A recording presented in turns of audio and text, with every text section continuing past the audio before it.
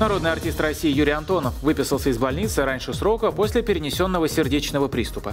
Музыкант покинул учреждение из-за ремонта в доме. 17 мая артиста госпитализировали после ухудшения самочувствия. Антонов сообщил врачам о головной боли, потемнении в глазах и головокружении. Медики диагностировали у него гипертензивную болезнь с поражением сердца. Врачи купировали приступ и стабилизировали состояние Антонова.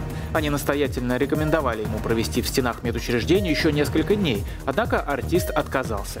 Музыкант заявил, что у него дома проходит ремонт, который нужно контролировать лично.